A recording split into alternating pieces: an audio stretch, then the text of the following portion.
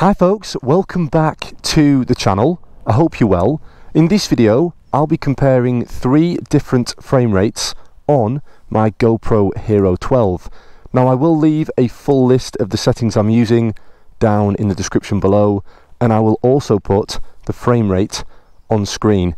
Please subscribe and please let me know down below which frame rate you prefer.